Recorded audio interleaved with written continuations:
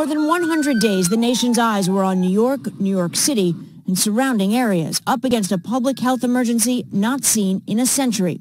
As the state's governor, Democrat Andrew Cuomo, prepared to mount an unprecedented response to COVID-19 has endured great loss on the battlefield during natural disasters and to violence tonight still feels different. The weight of the grief felt by Americans of all walks of life is crushing. Can be heard in the bells tolling here in Washington and across the country.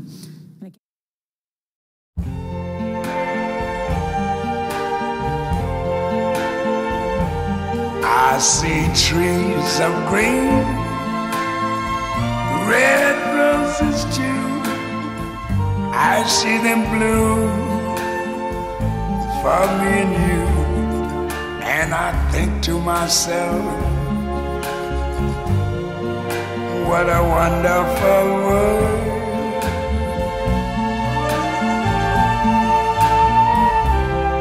I see skies of blue and clouds of white, the bright blessed day, the dark sacred night, and I think to myself, what a wonderful world.